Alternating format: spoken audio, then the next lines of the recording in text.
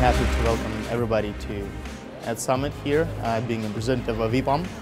Uh, we're holding this for the second year in a row, and the first year was a success, but this year I think we, you know, we beat ourselves. This year we've invited a lot of speakers from all over the world, from all the biggest companies like Twitter, like Mopub, like Pubmatic, like Google, of course.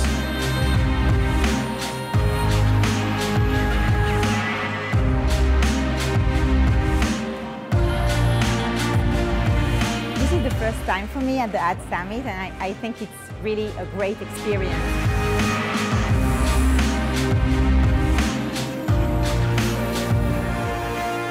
It stands for me for the first event of its kind uh, on mobile and video jointly uh, in Kiev and uh, with a great potential ahead. Giving people lots of updates on what's happening, lots of information on what's happening, and lots of education on stuff they don't know about yet.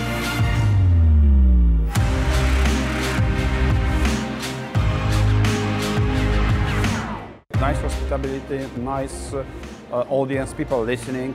Great. Well, you can have more. So it was very nice to speak with this such great audience about geolocation behavior and how it's impacting mobile advertising and also engagement.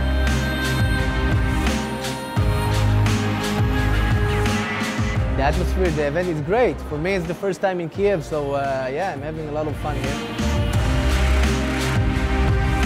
Uh, AdSummit stands for uh, uniting the people, unifying the information, gathering and engaging, and creating a network atmosphere.